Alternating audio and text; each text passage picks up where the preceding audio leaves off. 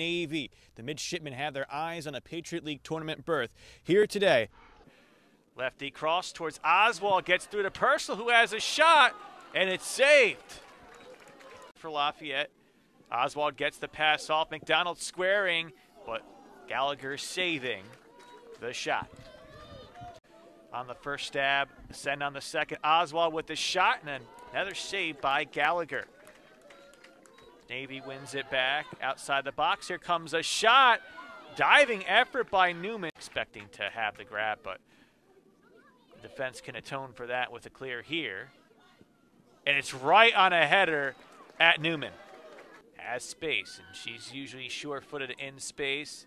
Gets a rolling cross. Quick touch leads to a save by Gallagher. High rebound, too. And Gallagher picks it up after the one time shot. Well defended by Lafayette.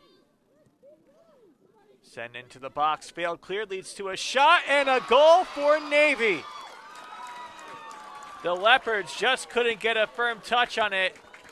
And the midshipmen needing a win to get into the Patriot League tournament now have full control of their destiny up 1 0. Still gets the pass off. A fire by Coe and a diving save. Out from Gallagher. Time on the road. As a long throw here. Chance for a shot right at Dewar. McDonald with a turn, a fire. Gallagher makes it 10 saves. And Navy keeping the lead. Maddie Gallagher with 10 saves. It's a season high.